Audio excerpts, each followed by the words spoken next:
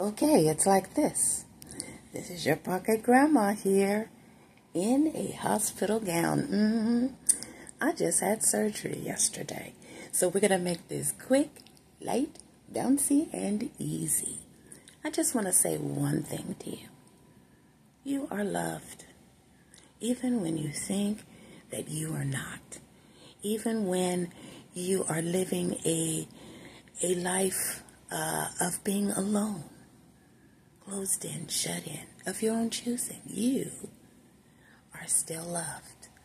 I found that out during this surgery period.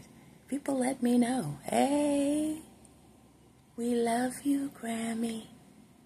And I am passing that love on to you.